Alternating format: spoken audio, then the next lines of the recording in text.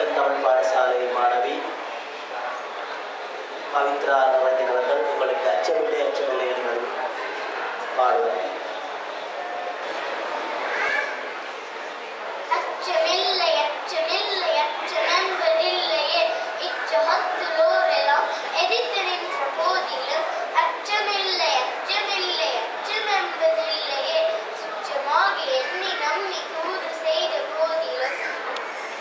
Two minutes